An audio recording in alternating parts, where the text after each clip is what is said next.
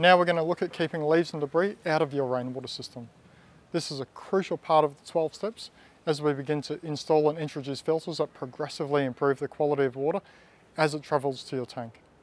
So leaves and debris can cause havoc in your system if they're not looked after. So they can break down or they can cause blockages which you're going to have to come and maintain. So we're going to really look at trying to keep those out so that we can set our system off on the right, at the right start. The accumulation of organic matter in your pipes will negatively affect the quality of your water. As the leaves break down, they'll start to go off through a process called anaerobic fermentation. And that's where microbes in the system can start to consume all that organic leaf matter and that can affect the colour, the smell and the taste of the water.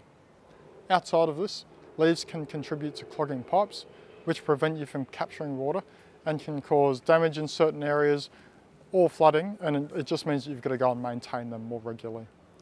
So because of this, filtering leaves and debris out of your rainwater harvesting system is vital. Filtering should be used to prevent any leaf and debris from entering any pipes. The easiest solution is to install a rain head with a mosquito-proof screen on each downpipe. So this is going to prevent leaves from entering the system as well as provide you the benefit of preventing uh, mosquito ingress. Rain heads are your first port of call when it comes to filtering out large debris. They come in all sorts of different shapes and sizes to fit your system. There are styles with angled screens and they're designed to eject leaves and that helps to reduce the amount of maintenance required. Alternatively, there are bucket style rain heads that ensure you catch every drop of water, but they do require a little bit of maintenance to ensure that they don't fill up with debris and overflow.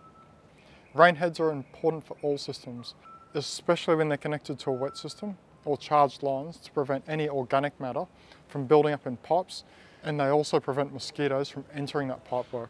As an alternative to putting a rain head on your downpipe, you might choose to only filter leaves at your tank.